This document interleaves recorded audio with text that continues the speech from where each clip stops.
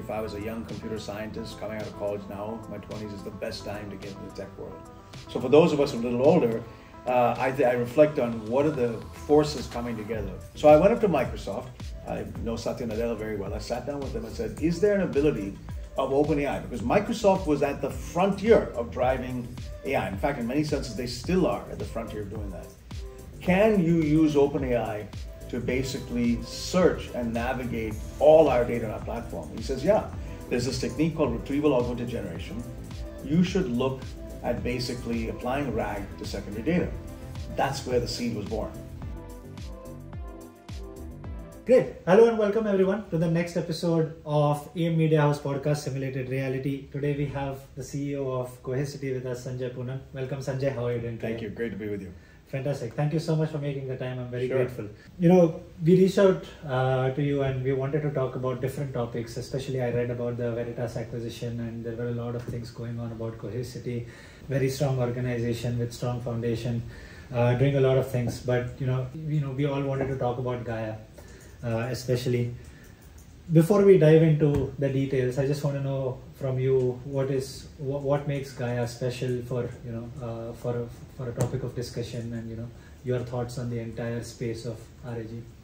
Well, listen, I think generative AI is a once in a lifetime kind of opportunity. Um, and I think, you know, I've been kind of an analytics, I would say predictive analytics when I was in, uh, as an undergrad in computer science. I came to this country as an immigrant on a scholarship to go to college. And when I studied computer science, we wouldn't call it AI, we'd call it predictive analytics, expert systems. It was all rule based.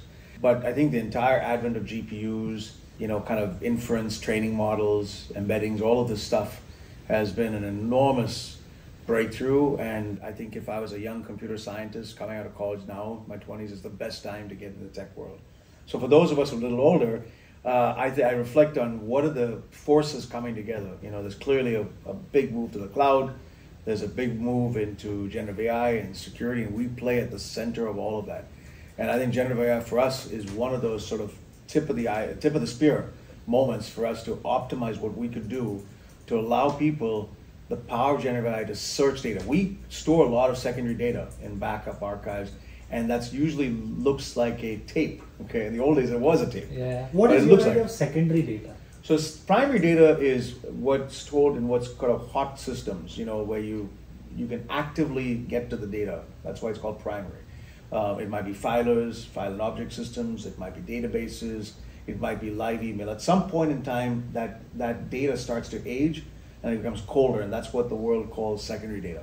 That's backup, archives, vaults, things of those kinds. So typically, one example of secondary data is backup data. So we've per, been, you know, the, the company that's looked to secure and protect the world's data and provide insights into it.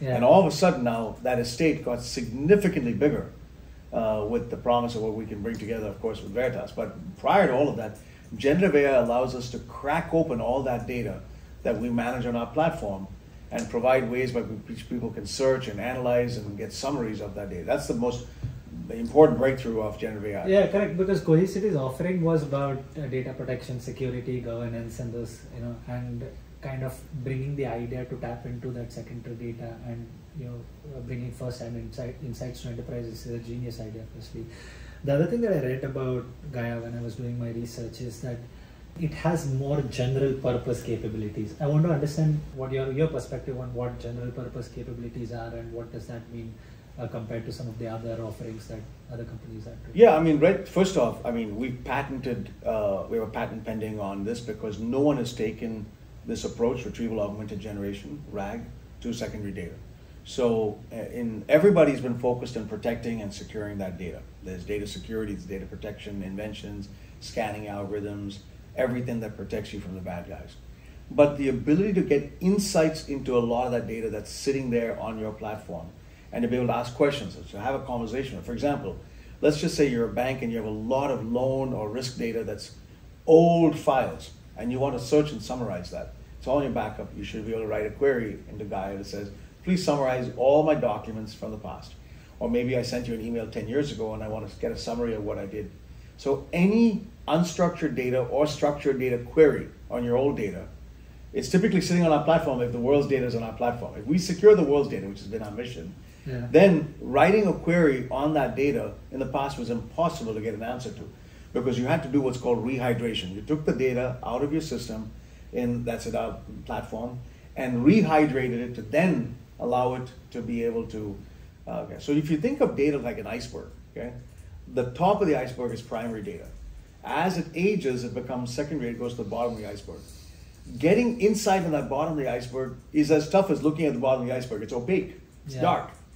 Now, and if you wanted to get insight before, you had to take the data out of the bottom of the iceberg, bring it up to the top of the iceberg, and then you could get insights. We changed that fundamentally. That's what Gaia does.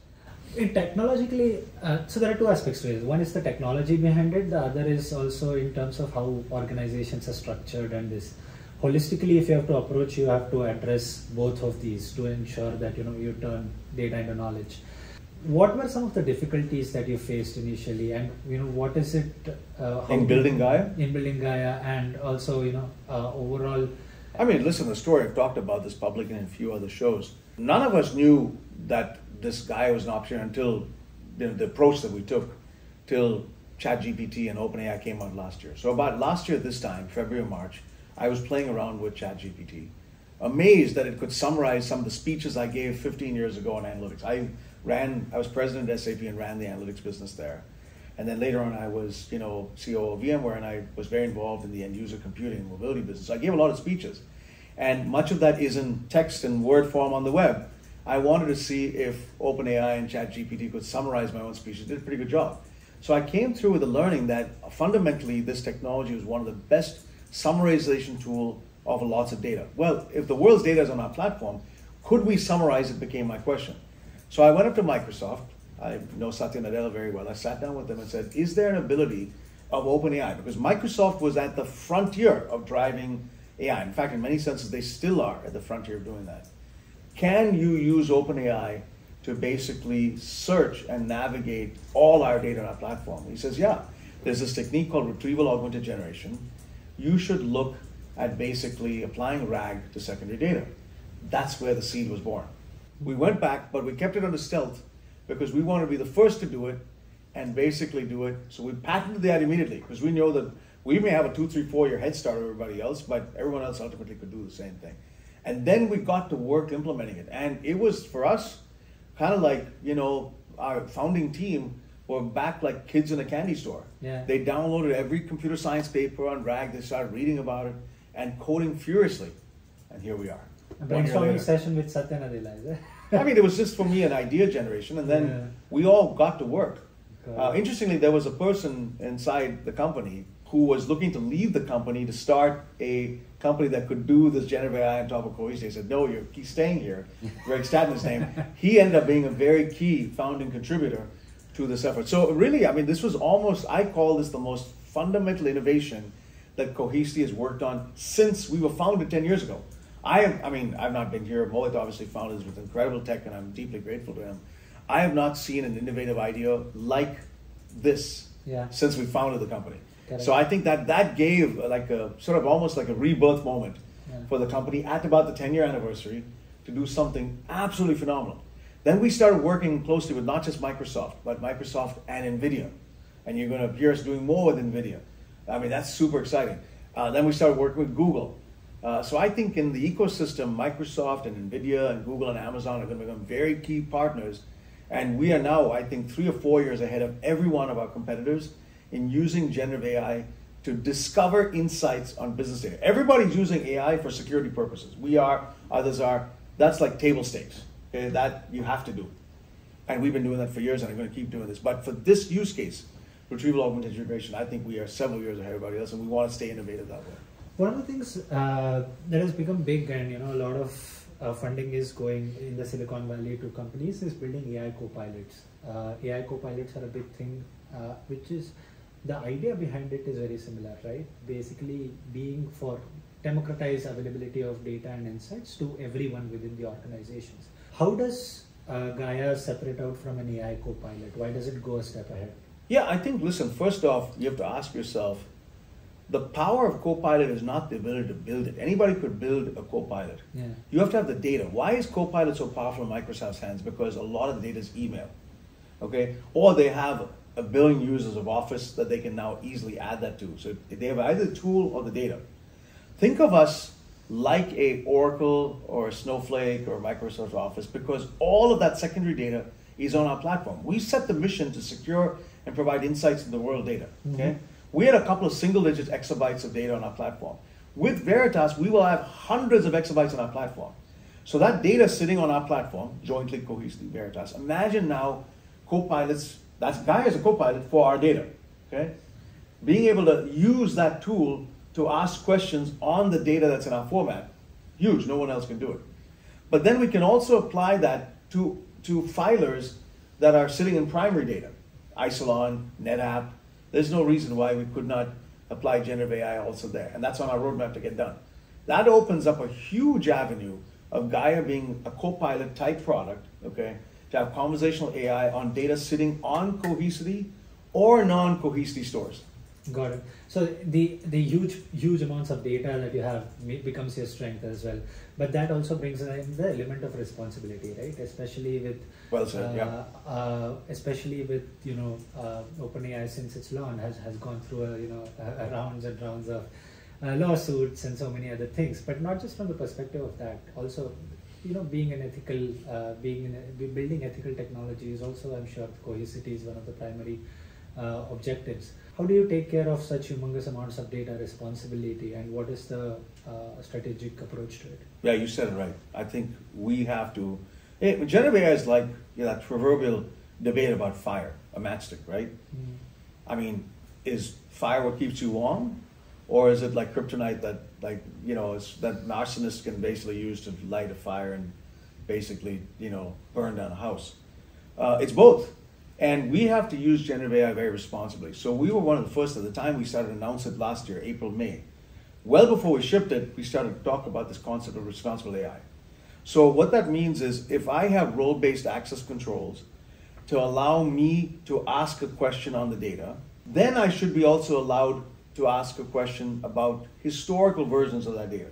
So for example, if I'm allowed to ask a question about what the risk was in a set of documents that I have access to, and I also have access to the historical versions of that. When I ask that query through Gaia, it should let me do that.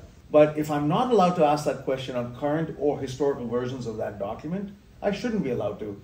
And that's how Gaia will operate. It'll op- operate within the role based access controls, within the guardrails of what uh, fine grained privileges are for access to documents or whatever have you, right? I mean, for example, email. Even though I'm CEO of the company, I'm not allowed to read other people's email. Uh, during a compliance check, our legal department might be allowed to check particular emails for people who may have violated that. That's even done by them. So even in the use case of Gaia to read or, or summarize emails, it's all going to be done within this sort of responsible AI framework. Got it. The other focus has always been when, when uh, the conversation around the dialogue around generative AI is the role of human intelligence. Leaders are convinced that generative AI is going to augment human intelligence, right? Uh, what is your thought process with regards to uh, when Gaia is implemented in enterprises and enables decision making not just for leaders but you know makes uh, data and insights available? What do you think is the role of uh, Gaia in enabling that intelligence rather than replacing the intelligence? I think it's again, uh, I think through metaphors, right? Would you drive a car today without GPS?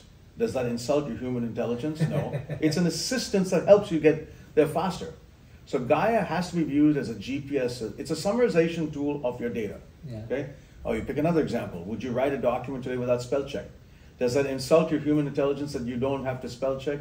No. I mean, you hope your spelling is right, but you have something helping you.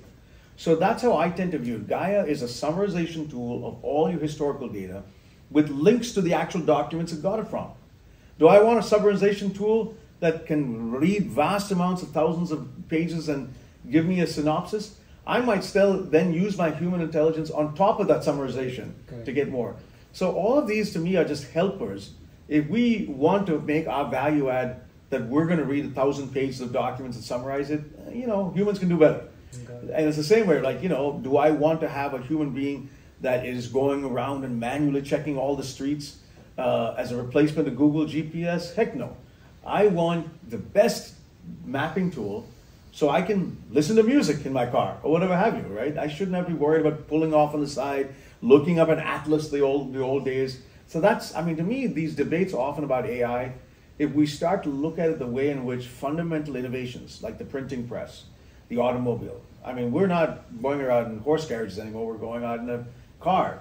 Is jet flying. I mean all of these things are debates that every time there's a new innovation, society should debate. But we should come back to the fact that these are not replacing human beings, it's actually making us a lot more productive. Correct. The other aspect also is in terms of adoption and scalability, and organizations who are producing tools, uh, which are uh, generative AI tools, or you know, uh, you know, essentially enabling uh, some of the enterprises and leaders to make decisions. They are talking a lot about adoption and scalability because that is a big roadblock. Uh, now, this adoption is for, has to consider various aspects to it. One is the organizational uh, aspect to it. The other could be data security, uh, privacy, and overall governance of it. It could be the talent aspect of it. What is your approach when you consult with the clients, right? Along with offering Gaia, how do you uh, strategically support them so that they can adopt this to scale and then truly, you know, imbibe it into their day-to-day culture as yeah, well? Yeah, I think the approach we're taking is by workload. We're starting off with M365, which is emails, and OneDrive, which are documents in the cloud. And then we're going to go to other documents, various different document types. Uh, and then really going by industry and the use cases. We go to a bank and ask them, here's the question I ask any client. What is the question you want to ask on your historical data? That if you now had access to all of your historical data, documents, uh, you would want to put into this tool okay, show me my loans from, summarize my loan data or my risk data. That might be a bank. Show me some geoscience data, oil and gas. Show me my medical records, uh, healthcare. What we want to do is learn what those questions are, take a sample of the customer's data, prototype what Gaia could look like, show them. It's a little bit like an analytical BI tool, right? If you remember business intelligence tools, they would take people's data and then pr- pr- produce pretty dashboards to say, show you what it looked like. In some senses, Gaia is exactly that. It stands actually, Gaia stands for Generative AI App. Okay? So it takes your data and it summarizes it, and, and they're like, wait, is there any restrictions on what data it could operate on? No. It's just operating on unstructured data.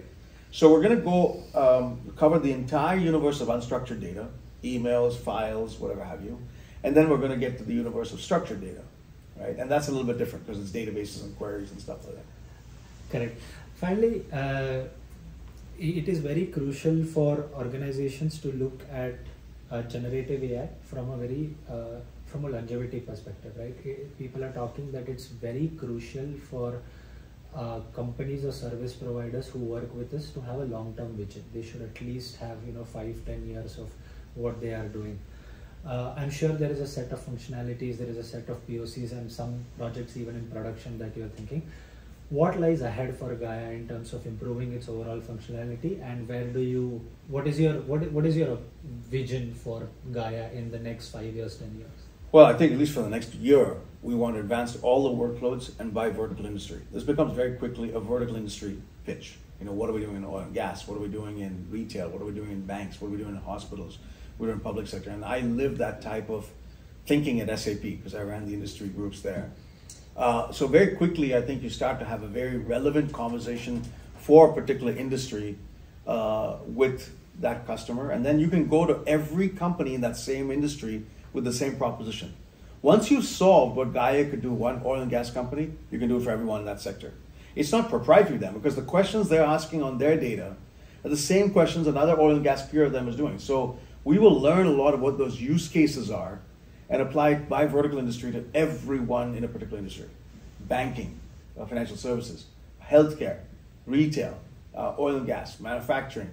And some are going to be horizontal scenarios across all industries. Compliance is a good example. Email compliance or discovery, e discovery, is a fairly horizontal across all industries. Yeah. But there are going to be some very vertical uh, specific uh, uh, data sets.